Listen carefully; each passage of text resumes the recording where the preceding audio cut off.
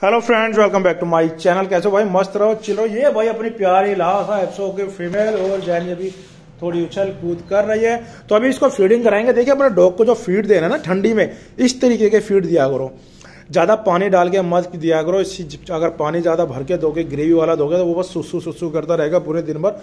तो इस तरीके का उसको फीडिंग दीजिए ठंडी के टाइम पे। और अभी फ़िलहाल नाच रहे हैं। और जैनी को नहीं देंगे यार, अपनी छोटी को देंगे। हट जा बेटा, हट जा हट जा बेटे ले। और देखो कैसे रफ्तार से खा जाएगी, ये देखो। ये देखो, इसकी स्पीड हट जा तो हट पीछे। तो देख रहे तो अपनी लाश एप्सो की फीमेल, जो भी लेना चाहता है जल्दी जल्दी अपने भाई को कॉन्टेक्ट करो, लेके जाए शानदार फीमेल।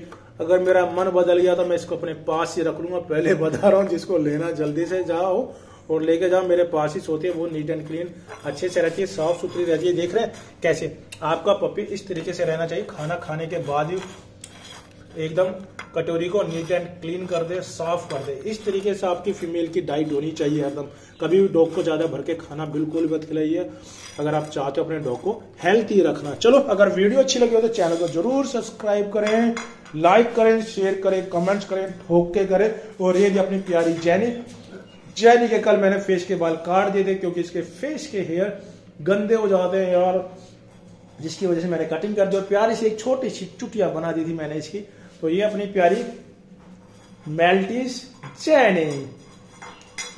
अगर आपको भी ऐसी शानदार और वीडियो देख रहे हैं तो अपने भाई को कमेंट बॉक्स में ज़रूर बताएँ। चलो take care and bye bye